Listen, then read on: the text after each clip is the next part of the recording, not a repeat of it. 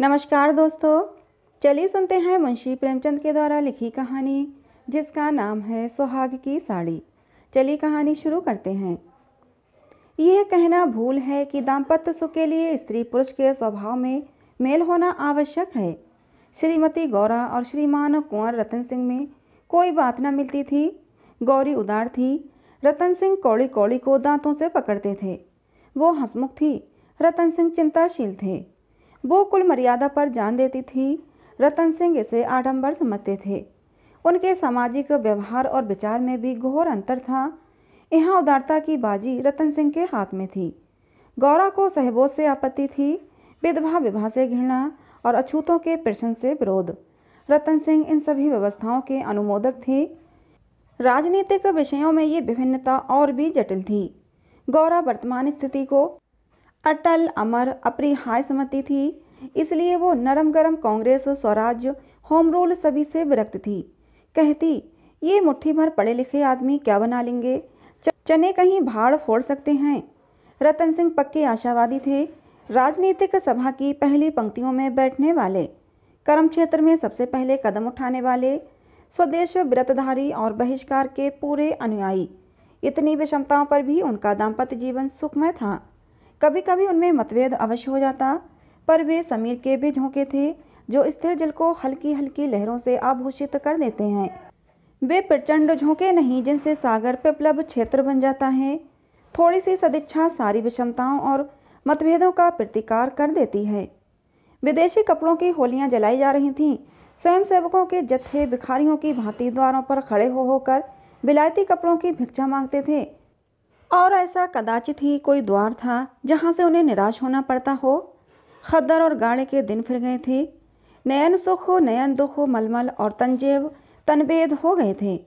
रतन सिंह ने आकर गौरा से कहा, लाओ, अब सब विदेशी कपड़े संदूक से निकाल कर दे दो। गौरा, अरे तो इसी घड़ी कोई साइत निकली जाती है? फिर कभी दे देना। रतन, वाह, लोग द्वार पर खड़े कोलाहल मचा रहे हैं। और तुम कहती हो, फिर कभी दे देना। गौरा तो ये कुंजी लो और निकाल कर दे दो, मगर ये सब हैं लड़कों के खेल। घर फूंकने से न स्वराज्य कभी मिला है और ना मिलेगा। रतन, मैंने कल ही तो इस विषय पर तुमसे घंटों सिरपच्ची की थी और उस समय तुम मुझसे सहमत हो गई थी। आज तुम फिर वही शंकाएँ करने लगी। गौरा, मैं तुम्हारे अप्रसन्न हो जाने के डर से चुप हो गई थी। रतन अच्छा शंकाएँ फिर कर लेना। इस समय जो करना है, वो करो। गौरा, लेकिन मेरे कपड़े तो ना लोगे ना? रतन, सब देने पड़ेंगे।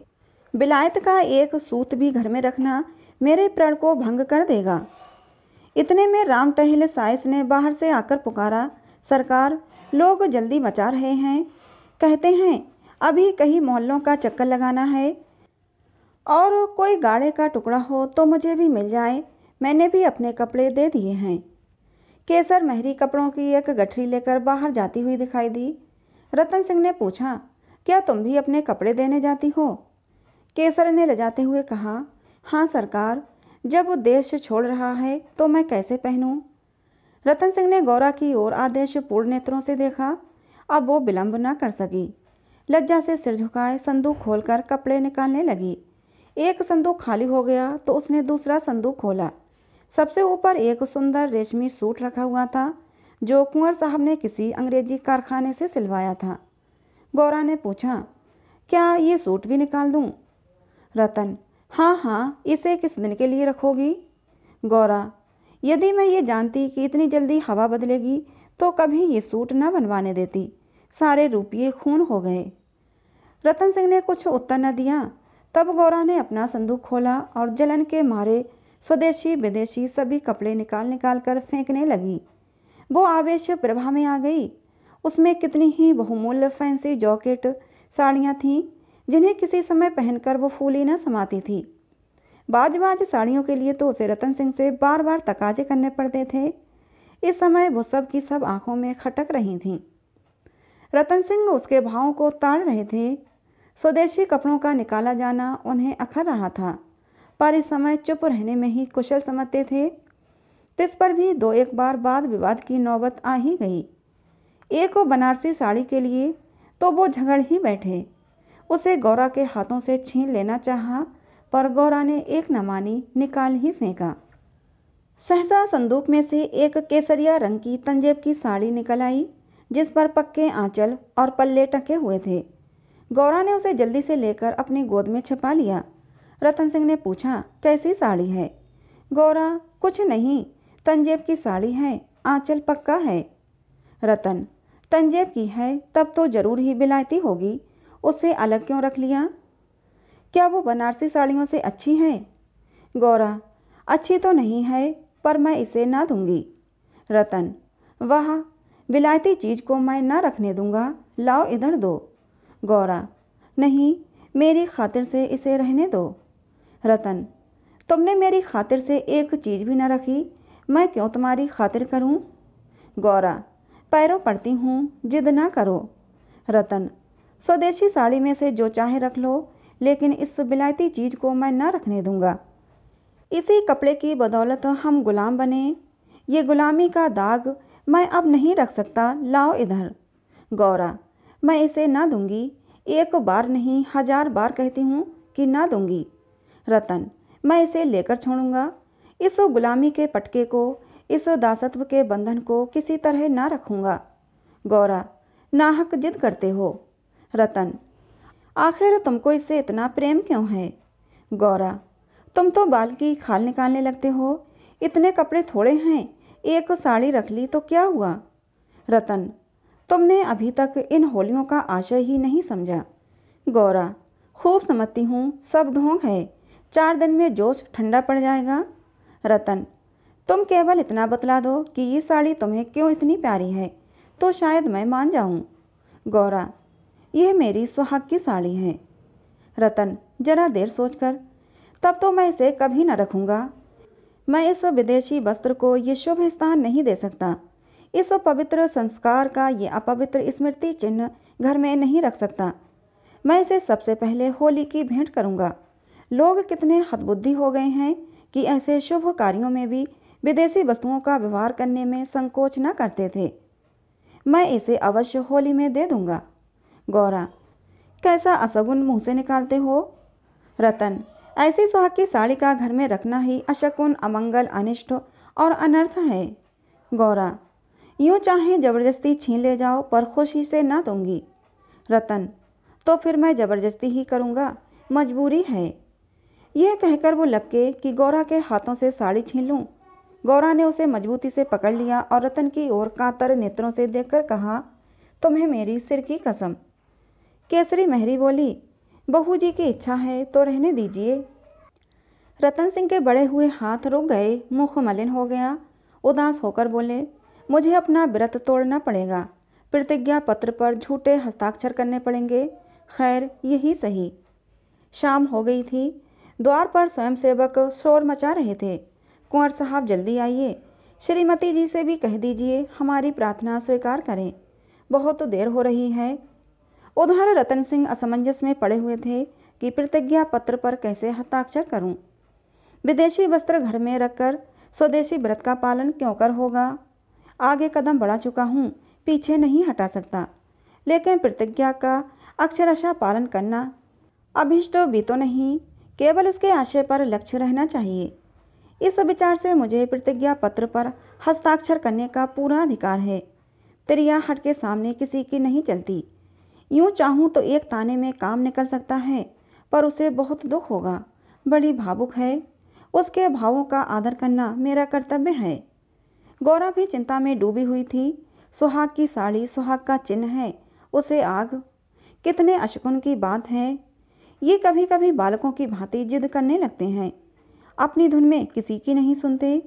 बिगड़ते हैं तो मानो मुँह ही सीधा नहीं होता। लेकिन वे बेचारे भी तो अपने सिद्धांतों से मजबूर हैं। झूठ से उन्हें घृणा है। प्रतिज्ञा पत्र पर झूठी स्वीकृति लिखनी पड़ेगी। उनकी आत्मा को बड़ा दुख होगा। घोर संकट में पड़े होंगे। ये भी तो नहीं हो सकता कि सारे शहर में स्वदेशानुरागियों के सिरमौर बनकर उस प्रतिज्ञा पत्र पर हस्ताक्षर करने से आनाकानी करें। कहीं मुँह दिखाने को जगह न रहेगी। लोग समझेंगे, बना हुआ है। पर शकुन की चीज़ कैसे दे दूँ? इतने में उसने राम टहल साइस को सिर पर कपड़ों का गट्ठर लिए बाहर जाते देखा। केसर मेहरी भी एक गट्ठर सिर पर रखे हुए थी। पीछे पीछे रतन सिंह हाथ में प्रतिज्ञा पत्र लिए जा रहे थे। उनके चेहरे पर गिलानी की झलक थी। जैसे कोई सच्चा आदमी झूठी गवाही देने जा रहा हो। गौरा को देखकर उन्होंने आँखें फैल लीं और चाहा कि उसकी निगाह बचाकर निकल जाऊँ। गौरा को ऐसा जान पड़ा कि उनकी आँखें डबडबाई हुई हैं। वो बोली, रुक जाओ। रतन, जाने दो, दिख ना करो। लोग बाहर खड़े हैं उन्होंने चाहा कि पत्र को छिपा लूँ, पर गौरा ने उसे उनके हाथों से छीन लिया। उसे गौर से पड़ा और एक क्षण चिंता मग्न रहने के बाद बोली वो साड़ी भी लेते जाओ। रतन, रहने दो, अब तो मैंने झूठ लिख ही दिया। गौरा, मैं क्या जानती थी कि तुम ऐसी कड़ी प्रतिज्ञा कर रहे हो? रतन, ये तो मैं तुमसे पहले कह चुका था। गौरा, मेरी भूल थी, क्षमा कर दो और इसे लेते जाओ। रतन, जब तुम इसे देना अशकुन समझती हो तो रहने दो, तुम्हारी खातिर थोड़ा सा झूठ बोलने में मुझे कोई आपत्ति नहीं। गौरा, नहीं, लेते जाओ अमंगल के भय से तुम्हारी आत्मा का हनन करना नहीं चाहती। यह कहकर उसने अपनी सुहाग की साड़ी उठाकर पति के हाथों में रख दी। रतन ने देखा, गौरा के चेहरे पर एक रंग आता है, एक रंग जाता है, जैसे कोई रोगी अंतरस्थ विषम वेदना को दबाने की चेष्टा कर रहा हो। उन्हें अपनी अहृदयता पर लज्जा आई। हाँ केवल अपने सिद्धांत की रक्षा के लिए, अपनी आत्मा के सम्मान के लिए मैं इस देवी के भावों का वध कर रहा हूँ। यह अत्याचार है। साड़ी गोरा को देकर बोले, तुम इसे रख लो, मैं प्रतिज्ञा पत्र को फाड़े डालता हूँ। गौरा ने दृढ़ता से कहा, तुम ना ले जाओगे तो मैं खुद जाकर इसे दे आऊँगी। रतन सिंह विवश हो गए साड़ी ली और बाहर चले आए। उसी दिन से गौरा के हृदय पर एक बोझ सा रहने लगा। वो दिल बहलाने के लिए नाना उपाय करती, जलसों में भाग लेती, सैर करने जाती, मनोरंजक पुस्तकें पढ़ती यहाँ तक कि कई बार नियम के विरुद्ध थिएटरों में भी गई। किसी प्रकार अमंगल कल्पना को शांत करना चाहती थी, पर यह आशंका एक मेघ मंडल की भांति उसके हृदय पर छाई रहती थी। जब एक पूरा महीना गुजर गया और उसकी मानसिक वेदना दिनों दिन बढ़ती ही गई तो कुंवर साहब ने उसे कुछ दिनों के लिए अपने इलाके पर ले जाने का निश्चय किया। वो अक्सर देहातों में प्रचार का काम करने जाया करते थे, पर अब अपने गाँव से बाहर न जाते या जाते तो संध्या तक ज़रूर लौट आते। उनकी एक दिन की देर उनका साधारण सिरदर्द और जुकाम उससे अव्यवस्थित कर देते थे। वो बहुधा बुरे स्वप्न देखा करती। किसी अनिष्ट के काल्पनिक अस्तित्व की छाया उसे अपने चारों ओर मड्डाती हुई प्रतीत होती थी। वो तो देहांत में पड़ी हुई आशंकाओं की कठपुतली बनी हुई थी। इधर इसकी सुहाग की साड़ी, स्वदेश प्रेम की बेदी पर भस्म होकर श्रद्धि प्रदायनी भभूत बनी हुई थी। दूसरे महीने के अंत में रतन सिंह उसे लेकर लौट आए। गौरा को वापस आए तीन चार दिन हो चुके थे, पर असबाब के संभालने और नियत स्थान पर रखने में वो इतनी व्यस्त रही कि घर से बाहर न निकल सकी थी। कारण ये था कि केसर महरी उसके जाने के दूसरे ही दिन घर छोड़कर चली गई थी, और अभी तक इतनी चतुर दूसरी मेहरी मिली न थी। कुंवर साहब का साइस राम टहल भी छोड़ गया था। बेचारे कोचवान को साइस का भी काम करना पड़ता था। संध्या का समय था। गौरा बरामदे में बैठी आकाश की ओर एक टुक होकर ताक रही थी। चिंताग्रस्त प्राणियों का एकमात्र यही अवलंब है। सहसा रतन सिंह ने आकर कहा, चलो आज तुम्हें स्वदेशी बाज़ार की सैर करा लावें। यह मेरा ही प्रस्ताव था, पर चार दिन यहाँ आए हो गए उधर जाने का अवकाश ही ना मिला। गौरा, मेरा तो जाने को जी ही नहीं चाहता। यहीं बैठकर कुछ बातें करो। रतन, नहीं, चलो देखा आवें एक घंटे में लौट आवेंगे। अंत में गौरा राज़ी हो गई। इधर महीनों से बाहर न निकली थी। आज उसे चारों तरफ़ एक विचित्र शोभा दिखाई दी। बाज़ार कभी इतनी रौनक पर न था। वो स्वदेशी बाज़ार में पहुँची तो जुलाहों और कोरियों को अपनी अपनी दुकानें सजाए बैठा देखा। सहसा एक वृद्ध कोरी ने आकर रतन सिंह को सलाम किया। रतन सिंह चौंक कर बोले, राम टहल, तुम अब कहाँ हो? राम टहल का चेहरा श्री संपन्न था। उसके अंग अंग से आत्मसम्मान की आभा झलक नहीं थी। आँखों में गौरव ज्योति थी। रतन सिंह को कभी अनुमान न हुआ था कि अस्तबल साफ़ करने वाला बुढ़ा राम टहल इतना सौम्य, इतना भद्र पुरुष है। वो बोला, सरकार, अब तो अपना कारोबार करता हूँ। जब से आपकी गुलामी छोड़ी तब से अपने काम में लग गया। आप लोगों की निगाह हम गरीबों पर हो गई। हमारा भी गुजर हो रहा है। नहीं तो आप जानते ही हैं कि किस हालत में पड़ा हुआ था। जात का कोरी हूँ, पर पापी पेट के लिए चमार बन गया था। रतन तो भाई, अब मुँह मीठा कराओ। यह बाज़ार लगाने की मेरी ही सलाह थी। बिक्री तो अच्छी होती है ना? राम टहल हाँ सरकार, आजकल खूब बिक्री हो रही है। माल हाथों हाथ उड़ जाता है। यहाँ बैठते हुए एक महीना हो गया, पर आपकी कृपा से लोगों के चार पैसे थे बे बेबाक हो गए। भगवान की दया से रूखा सूखा भोजन भी दोनों समय मिल जाता है। और क्या चाहिए? मालकिन की सुहाग की साड़ी का होली में आना कहिए और बाज़ार का चमकना कहिए। लोगों ने कहा, जब इतने बड़े आदमी होकर ऐसे शकुन की चीज़ की परवाह नहीं करते तो फिर हम विदेशी कपड़े क्यों रखें? जिस दिन होली जली है, उससे दो तीन दिन पहले ही सरकार इलाके पर चले गए थे। उसके पहले भी सरकार कई दिनों तक घर से बहुत कम निकलते थे। मैं तो यही कहूँगा कि ये सारी माया उसी सुहाग की साड़ी की है। इतने में एक अधेड़ स्त्री गौरा के सामने आकर खड़ी हो गई और बोली, बहू जी, मुझे भूल तो नहीं गई।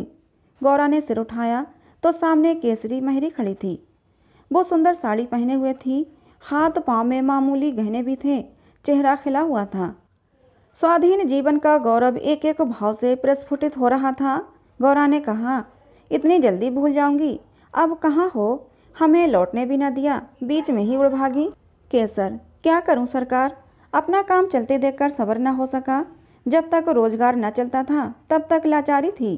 पेट के लिए सेवा, टहल, कर्म, कुकर्म सभी करना पड़ता था। अब आप लोगों की दया से हमारे भी दिन लौटे हैं। अब दूसरा काम नहीं किया जाता। अगर बाज़ार का यही रंग रहा तो अपनी कमाई खाए ना चुकेगी। ये सब आपकी साड़ी की महिमा है। उसकी बदौलत हम गरीबों के कितने ही घर बस गए। एक महीना पहले इन दुकान वालों में से किसी को रोटियों का ठिकाना न था कोई साइसी करता था, कोई तासे बजाता था। यहाँ तक कि कई आदमी मेहतर का काम करते थे। कितने ही भीख मांगते थे अब सब अपने अपने धंधों से लग गए। सच पूछो तो आपकी सुहाग की साड़ी ने हमें सुहागिन बना दिया। नहीं तो हम सुहागिन होते हुए भी विधवाएँ थीं। सच कहती हूँ, सैकड़ों जवानों से नित्य यही दुआ निकलती है कि आपका सुहाग अमर हो, जिसने हमारी राण जाति को सुहाग दान दिया।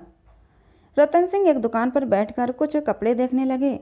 गौरा का भावुक हृदय आनंद से पुलकित हो रहा था। उसकी सारी अमंगल कल्पनाएँ स्वप्न व्रत विच्छिन्न होती जाती थीं, आँखें सजल हो गई थीं, और सुहाग की देवी अश्रु संचित नेत्रों के सामने खड़ी आंचल फैलाकर उसे आशीर्वाद दे रही थी। उसने रतन सिंह को भक्तिपूर्ण आँखों से देखकर कहा, मेरे लिए भी एक साड़ी ले लो।